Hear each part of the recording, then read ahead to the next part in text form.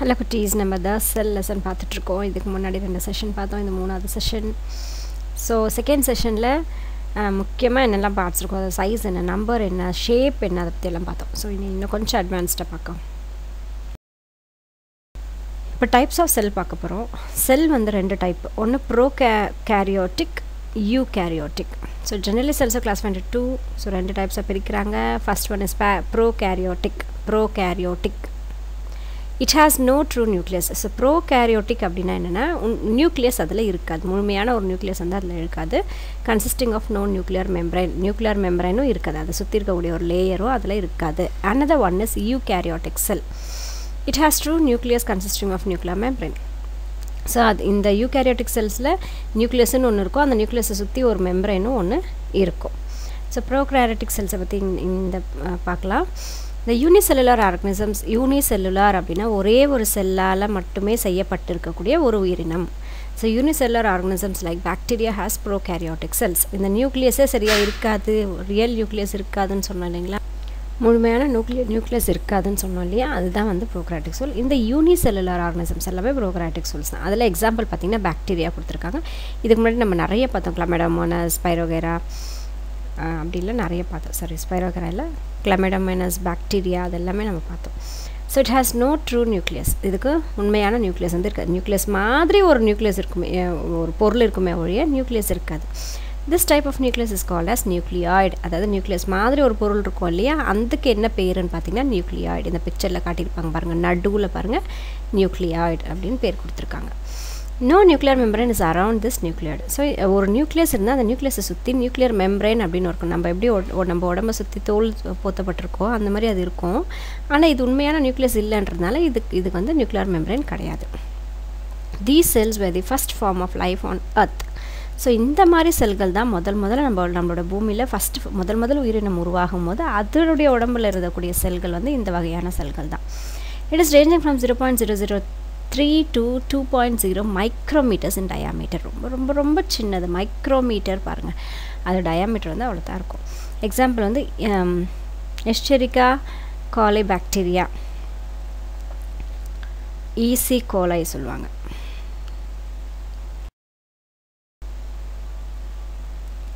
அடுத்த செல்லோட டைப் வந்து யூகேரியோட்டிக் செல் ஸோ யூகேரியோட்டிக் செல்ல செல்லில் ஏற்கனவே சொல்லுவோம் ப்ரோகேரியோட்டிக்கில் நியூக்ளியஸ் மாதிரி ஒரு பொருள் இருக்கும். ஆனால் யூகேரியோட்டிக் செல்ஸில் நியூக்ளியஸ் உண்மையான நியூக்ளியஸ் வந்து இருக்கும். Cells have true nucleus is call eukaryotic cells முக்கியமான ஒரு வேறுபாடு இதுதான் வந்து நம்ம புரிஞ்சுக்க வேண்டிய விஷயம். அதில் நியூக்ளியஸ் மாதிரி பொருள் இருக்கும் அதில் நியூக்ளியஸே இருக்கும்.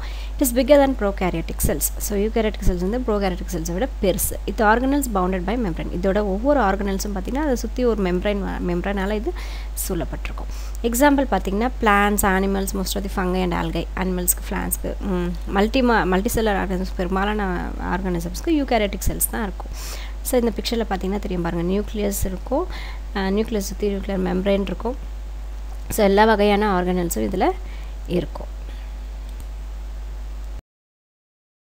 இப்போ ரெண்டு செல்ஸும் தனித்தனியாக பார்த்தோம். இப்போ அந்த ரெண்டு செல்ஸ்க்கு இருக்கக்கூடிய டிஃப்ரென்சஸ் என்னன்னு பார்க்கலாம் பாருங்கள் ஃபஸ்ட்டு ப்ரோகேராட்டிக்கோட ஃபஸ்ட் பாயிண்ட் பாருங்கள் its diameter ranges from one to two micron நம்ம பார்த்தோம் இல்லையா? Zero point zero zero three to two point zero micron micro microns பார்த்தா அதுதான் சொல்லியிருக்காங்க.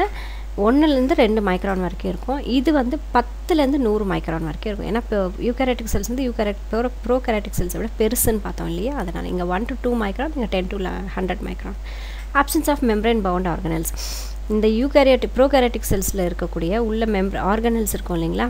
இந்த நியூக்ளியஸ் அந்த மாதிரி சில விஷயங்களுக்கு வந்து சுற்றி எந்த ஒரு மெம்ப்ரைனும் இருக்காது. ஆனால் இந்த யூகேரியாட்டிக் செல்ஸில் ஒவ்வொரு தனித்தனி ஆர்கனல்ஸ்க்கும் வந்து தனித்தனியாக சில அதில் நிறைய பொருள்கள் இருக்குது அடுத்தடுத்து இதில் பார்க்கலாம் நம்ம. அப்போ அதில் அந்த ஆர்கனல்ஸை சுற்றி மெம்ப்ரைன்ஸ் வந்து இதில் யூகேரியாட்டிக்ஸில் இருக்கும் ப்ரோகேரியாட்டிக்கில் இருக்காது. அதில் வந்து நீங்கள் நியூக்ளியாய்ட் ஞாபகம் வச்சுக்கணும். Nucleus consists of no nuclear membrane so இங்கே இருக்கக்கூடிய நியூக்ளியர் மாதிரி ஒரு பொருள் நியூக்ளியாய்டுக்கு நியூக்ளியர் மெம்ப்ரைன் கிடையாது. ஆனால் யூகேரியாட்டிக் செல்ஸில் வந்து அது உண்மையான நியூக்ளியஸ் அதை சுற்றி நியூக்ளியர் மெம்ப்ரைனும் இருக்கும். ஆப்சன்ஸ் ஆஃப் நியூக்ளியோலை நியூக்ளியஸ்க்குள்ளே ஒரு சின்னதாக ஒரு ஒரு பொருள் இருக்கும். அதோட பேர் வந்து நியூக்ளியோலாய் அது வந்து ப்ரோகேரட்டிக் செல்ஸில் இல்லை. யூகேரட்டிக் செல்ஸில் நியூக்ளியோலை அப்படின்ற ஒரு பொருள் வந்து இருக்கும். அதாவது நியூக்ளியஸ்க்குள்ளே ஒரு சின்ன ஒரு பொருள் அது. அது வந்து இருக்கும். ஸோ இதுதான் வந்து ப்ரோகேரட்டுக்கு யூரோகேரட்டுக்கும் இருக்கக்கூடிய ஒரு வித்தியாசம். இப்போ பிளான் செல் இப்போ அதே மாதிரி செல்லை ஃபஸ்ட்டு வந்து செல்லை வந்து யூ கேரியாட்டிக் ப்ரோ கேரியாட்டிக்னு பிரிக்கிறோம். ப்ரோ கேரியோட்டிக் வந்து ரொம்ப சின்னது யூ கேரியோட்டிக் வந்து ரொம்ப பெருசு அதை விட பெருசு. ப்ரோ கேரட்டிக்கில் நியூக்ளியஸ் இருக்குது இதில் நியூக்ளியஸில் எல்லாம் பார்த்தோம் இல்லைங்களா இப்போ அதே மாதிரி செல்லை வந்து ரெண்டாக பிரிக்கிறாங்க. Plant cell animal cell. பிளான்ஸில் இருக்கக்கூடியதெல்லாம் பிளான் செல் அனிமல்ஸில் இருக்கக்கூடியதெல்லாம் animal cell. Both plants and animal cells are made up of cells so எல்லா உயிரினங்களும் செல்லால் தான் செய்யப்பட்டிருக்கு. ஸோ அதனால் ரெண்டுமே both cells are eukaryotic nature so எதெல்லாம் மல்டி செல்லுலரோ அது எல்லாமே நியூகேரட்டிக் அதனால் பிளான்ஸ் அனிமல்ஸ் எல்லாமே நியூக்ளியாட்டிக் தான். Having a definite membrane bound nucleus so இதில் முக்கியமான விஷயம் நம்ம தெரிஞ்சுக்க வேண்டியது யூகேரட்டிக்னாவே உண்மையான நியூக்ளியஸ் இருக்கும். டெஃபினட் நியூக்ளியஸ் அதில் இருக்கும். ஸோ பிளான்ட் செல் எப்படி இருக்கும் பாருங்கள் it is usually larger in size so plant cell தான் வந்து பெருசாக இருக்கும். அனிமல் செல்லை விட பிளான் செல் பெருசாக இருக்கும். ஹார்ட் இன் நேச்சர் நம்ம நம்ம ஸ்கின் வந்து தொட்டு பார்க்கும்போது ரொம்ப சாஃப்டாக இருக்கும். ஆனால் மரத்தோட பட்டையை தொட்டு பார்க்கும்போது ரொம்ப ஹார்டாக இருக்கும் இல்லையா? அதை வச்சு ஞாபகம் வச்சுக்கலாம். இந்த பிளான் செல் வந்து கொஞ்சம் ஹார்டாக இருக்கும். தொடுறதுக்கு ரொம்ப ரஃப்பாக இருக்கும். Plant cells have cell wall in addition to the cell membrane so cell மெம்ப்ரெயினுக்கு உள்ளே அதுக்கு இன்னொரு பொருள் இருக்கும். அது பேர் என்னென்னா செல் வால்னு சொல்கிறாங்க இந்த செல் வால் வந்து மனுஷனுடையோட அனிமல் செல்லில் வந்து கிடையாது. பிளான் செல்லில் இரு மட்டும்தான் இருக்கும். அது அதோட special so plant cell have chloroplast which contain chlorophyll so நம்ம பிளான்ட் எல்லா பிளான்ட்டும் க்ரீன் கலரில் இருக்குது அதுக்கு காரணம் யாருன்னு பார்த்தீங்கன்னா குளோரோஃபில் அந்த குளோரோஃபில் இருக்கக்கூடிய குளோரோபா பிளாஸ்ட் அப்படிங்கிற ஒரு பொருள் வந்து ஒரு ஆர்கனல் பொருள் இல்லை அது ஒரு ஒரு ஆர்கனல் வந்து இந்த பிளான்ட் செல்லில் இருக்குது இந்த குளோரோபாஸ்ட்டு அதுக்குள்ளே இருக்கக்கூடிய குளோரோஃபில்லும் அனிமல் செல்லில் இருக்காது. அதனால தான் நம்ம க்ரீன் கலரில் இல்லை. Plant cells have large vacuole centrioles are absent so plant வந்து வேக்யூல் அதாவது வெற்றிடம் சொல்லுவாங்க வேக்யூல் சொல்லுவாங்க.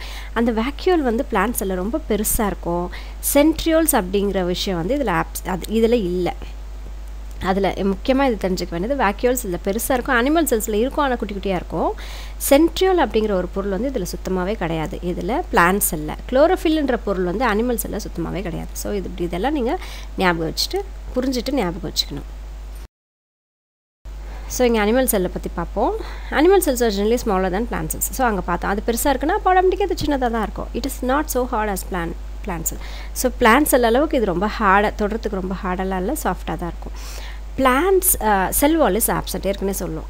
செல் வால் அதுக்கு பிளா பிளான் செல்லில் மட்டும்தான் இருக்கும். அனிமல் செல்ஸில் செல் வால் கிடையாது. வெறும் செல் மெம்ப்ரைன் மட்டும்தான் இருக்கும். குளோரோபிளாஸ்ட் இஸ் யூஸ்வலி ஆப்சண்ட் அதில் க்ரீன் கலர் கொடுக்கக்கூடிய அந்த குளோரோஃபில் இருக்கக்கூடிய குளோரோபிளாஸ்ட் பிளான் செல்லில் இருக்கும். நம்ம செல்ஸில் இருக்காது. அனிமல் செல்ஸில் இருக்காது. And animal cell may have many small vacuoles so plant செல்லில் ஒரே ஒரு வேக்யூல் இருந்தாலும் ரொம்ப பெருசாக இருக்கும். ஆனால் அனிமல் செல்லில் சின்ன சின்ன சின்ன சின்னதாக நிறைய வேக்யூல்ஸ் இருக்கும். Centrioles are found in animal cell centrioles அப்படிங்கிற ஒரு பொருள் வந்து அனிமல் செல்லில் இருக்கும். பிளான்ஸ் எல்லாம் இருக்காது. ஸோ அடுத்தடுத்த கிளாஸஸ் நீங்கள் போகும்போது இந்த ஒவ்வொரு ஆர்கனலை பற்றியும் தனித்தனியாக படிக்கும் போது இன்னும் உங்களுக்கு ரொம்ப ரொம்ப கிளியராக இதை பற்றியெல்லாம் புரியும். Three dimension cell structure so ஒரு வேலை இப்போ நிறைய இந்த த்ரீ டி ஃபிலிம்ஸ் அதெல்லாம் நம்ம பார்த்துட்ருக்கோம் இல்லையா? உண்மையான ஒரு பொருளோட ஒரு ஒரு பொருளோட உண்மையான உருவத்தை பார்க்கக்கூடியது தான் வந்து த்ரீ டி த்ரீ டைமென்ஷன் சொல்லுவாங்க. தபோ cell has three dimensional view so இங்கே கொடுத்துருக்கக்கூடிய செல் பாருங்கள் இது வந்து ஒரு த்ரீ டி வியூ தான் இது. நம்ம இதுக்கு முன்னாடிலாம் பார்த்துட்டு ஒரு பேப்பரில் வரைஞ்சி வச்ச மாதிரி ஃப்ளாட்டாக இருந்துச்சு. ஆனால் இது ஒரு மாதிரி அப்படியே ரியலாக இருக்கக்கூடிய மாதிரி இருக்குது பாருங்களேன். இதுக்கு பேர் தான் வந்து த்ரீ டி அப்படின்னு சொல்கிறோம் we can see the three sides of the cell cell structure so எல்லா பக்கமும் இந்த செல்லோட ஸ்ட்ரக்சர் எப்படி இருக்கும் அப்படின்றத நம்மளால் பார்த்து புரிஞ்சுக்க முடியும். You can also view the size shape and location of the the organelles of the cells also so இதோட சைஸ் எப்படி இருக்கும்? இது ஷேப் எந்த ஷேப்பில் இருக்கும்? அந்த ஆர்கனல்ஸ் எல்லாம் எப்படி அதில் பதிக்கப்பட்டிருக்கும்? அப்படின்றது ஒரு நமக்கு ஒரு கிளியரான ஒரு வியூ வந்து நமக்கு த்ரீ டி செல்ஸில் த்ரீ டி பிக்சர்ஸில் நமக்கு கொடுக்கும். Three D view is appealing because it is more like reality so இப்போ த்ரீ டி வந்து ரொம்ப நிறைய அதை பற்றி நிறையா அது வந்துட்டுருக்கு. காரணம் என்னென்னா ரொம்ப ரியலாக இருக்கக்கூடிய மாதிரியே இது இதோட பிம்பம் வந்து நமக்கு கிடைக்கிறதுனால. In three D we can see the entire view of the cell it exposes the act accurate size and shape and the the correct location the circle ornaments. So three டியில் வந்து நம்ம ரொம்ப கிளியராக அது என்ன ஷேப்பில் இருக்கும் என்ன சைஸில் இருக்கும் அது எப்படி அதில் ஒரு செல்லுக்குள்ளே ஒரு வேக்யூலோ ஒரு மைட்டோகாண்ட்ரியாவோ ஒரு நியூக்ளியஸோ எங்கே இருக்கும் எப்படி இருக்கும் அப்படின்றத ரொம்ப கிளியராக கொடுக்கக்கூடிய ஒரு வியூ தான் வந்து three D view of the cell இங்கே ஒரு ஆக்டிவிட்டி உங்களுக்கு கொடுத்துருப்பாங்க. ஒன்றும் இல்லை. நீங்கள் இது எடுத்துக்கோங்க. என்னது?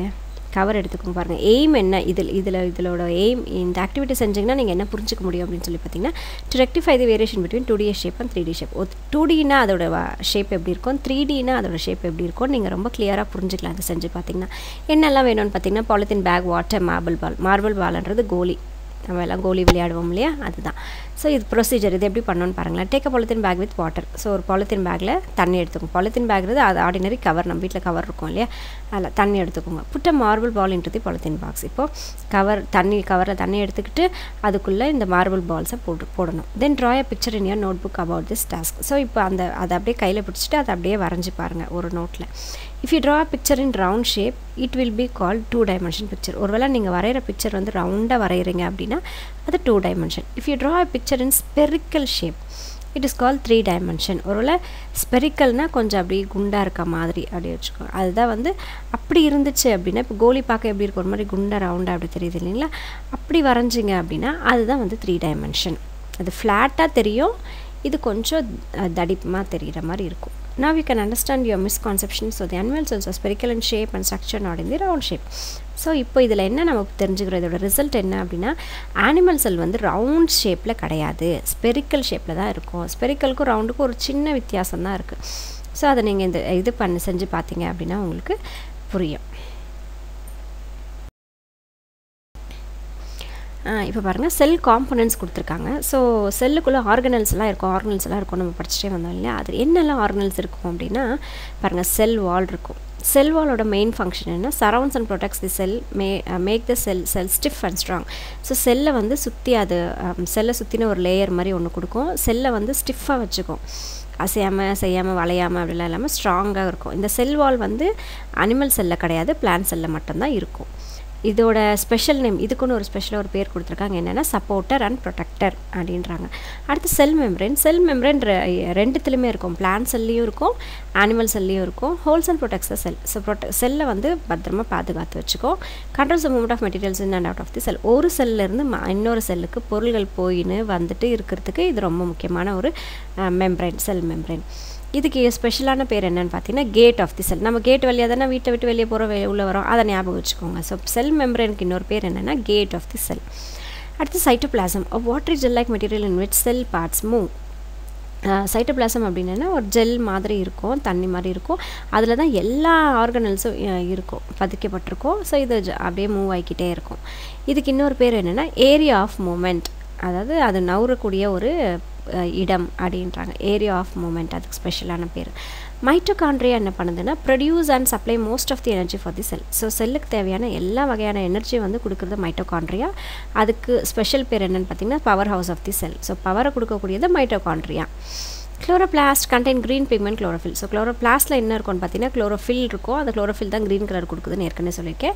Capture the energy of sunlight and use it to produce food for the cell by the photosynthesis so இந்த குளோரோஃபாஸ்ட்டோட முக்கியமான வேலை என்னன்னு பார்த்தீங்கன்னா சன்லைட்டை இழுத்து பிடிச்சிட்டு அதை வந்து ஃபுட்டு அதுக்கு உண்டான சமை சாப்பாடு செய்கிறதுக்காக யூஸ் ப பா சாப்பாடு செய்யறதுக்கு உதவுது தான் வந்து இந்த குளோரோபிளாஸ்டோட வேலை. இதுக்கு இன்னொரு பேர் என்னன்னு சொல்லி ஸ்பெஷலான பேர் என்னன்னு food producer of the cell plant செல்லில் மட்டும்தான் இது இருக்கும். ஏற்கனவே பார்த்துருக்கோம் இல்லையா? பிளான் செல்லில் மட்டும்தான் இருக்கும். ஸோ இதுக்கு இன்னொரு பேர் என்னென்னு பார்த்தீங்கன்னா food producer for the cell அடுத்து வேக்யூல்ஸ் வேக்யூல்ஸ் என்ன வேலைன்னு பார்த்தீங்கன்னா store food water chemicals so ச தேவையான ஃபுட்டு தண்ணியெல்லாம் நம்ம ச நம்ம சேமித்து வச்சுக்கிறதுக்கு பா பாத்திரம்லாம் வச்சுருப்போம் இல்லையா? கிச்சனில் அது மாதிரி ஞாபகம் வச்சுக்கோங்க. அதெல்லாம் பத்திரமா வச்சுக்கிறதுக்கு இந்த வேக்யூல் தான் வந்து இடம். அதோட ஃபங்க்ஷன் அதுக்கு ஸ்பெஷல் பேர் என்னென்னு பார்த்தீங்கன்னா ஸ்டோரேஜ் டேங்க் இப்போ நம்ம தண்ணியெல்லாம் டேங்க்கில் வச்சுருக்கோம். அந்த மாதிரி ஞாபகம் வச்சுக்கோங்க. அடுத்து nucleus acts brain of the cell so nucleus எப்படி நம்மளோட உடம்பு ஃபுல்லாக பிரெயின் கண்ட்ரோல் பண்ணுதோ அந்த மாதிரி இது ஒரு செல் ஃபுல்லாக கண்ட்ரோல் பண்ணுறது நியூக்ளியஸ் தான். ஸோ பிரெயின் மாதிரி ஒர்க் பண்ணுது regulates and controls all the cell activities எல்லா செல்ல செல்லில் இருக்கக்கூடிய சின்ன சின்ன பொருளும் என்னென்ன வேலை செய்யணும் எப்பெல்லாம் செய்யணும் எப்பெல்லாம் செய்யக்கூடாது அது எல்லாமே டிசைட் பண்ணுறது இந்த நியூக்ளியஸ் தான். அதுக்கு ஸ்பெஷல் நேம் என்னென்னு பார்த்தீங்கன்னா கண்ட்ரோல் சென்டர் ஸோ எல்லாத்தையும் கண்ட்ரோல் பண்ணக்கூடிய ஒரு இடம் தான் வந்து நியூக்ளியஸ் அடுத்து nucleus membrane surrounds and protects nucleus control the movement of materials என்ன ஆஃப் தி நியூக்ளியஸ் ஸோ நியூக்ளியஸை பத்திரமா அதை பார்த்துக்கிறதுக்கு அதை சுற்றி இருக்கும். நியூக்ளியஸ்க்குள்ளே என்ன பொருளெல்லாம் வரலாம் என்ன பொருளெல்லாம் வரக்கூடாது அப்படின்றத கண்ட்ரோல் பண்ணுறது இந்த நியூக்ளியர் மெம்பரைனோட வேலை. செல் மெம்பரைன் வந்து ஒரு செல்லேருந்து இன்னொரு செல்லுக்கு என்னெல்லாம் போகலாம் வரலான்னு கண்ட்ரோல் பண்ணுது. நியூக்ளியஸ் மெம்பரைன் வந்து அந்த ஒரு செல்லுக்குள்ளேயே என்னெல்லாம் உள்ளே வரலாம் என்னெல்லாம் வெளியே போகலாம் அப்படின்றத டிசைட் பண்ணுறது இந்த நியூக்ளியஸ் மெம்பரைன் ஸோ இதுக்கு என்ன பேருன்னா கேட் ஆஃப் தி நியூக்ளியஸ் அது கேட் ஆஃப் தி செல் இது gate of the nucleus so இது ரொம்ப முக்கியமான விஷயங்கள். இதை பற்றியும் அடுத்தடுத்த கிளாஸஸில் ரொம்ப டீட்டெயிலாக படிக்கலாம். When you feel sad just remember எப்பயாவது சோகமாக இருக்குன்னு வச்சுக்கோ நல்லா ஞாபகம் வச்சுக்கோ that there are billions of cells in your body உன்னோட உடம்புக்குள்ளே பில்லியன்ஸ் அதாவது நிறைய லட்சக்கணக்கில் கோடிக்கணக்கான செல்ஸ்கள் வந்து உன்னோட உடம்புக்குள்ளே இருக்குது and all the care about is you அந்த பில்லியன்ஸ் ஆஃப் செல்ஸும் யாரை பற்றி தெரியுமா கவலைப்படுது? யாரை தெ யாரை தெரியுமா பார்த்துக்குது? உன்னை தான் பார்த்துக்குது. ஸோ உனக்கு யாரும் இல்லை அப்படிலாம் கவலைப்படாத. பல மில்லியன் செல்கள் உனக்காகவே வேலை செஞ்சுக்கிட்டு உனக்காகவே தன்னை பா தன்னையும் பார்த்துக்கிட்டு உன்னையும் பார்த்துக்கிட்டு இருக்குது ஸோ நல்ல உணவுகளை சாப்பிடுங்க. ஜங்க் ஃபுட்டெல்லாம் விட்டுருங்க.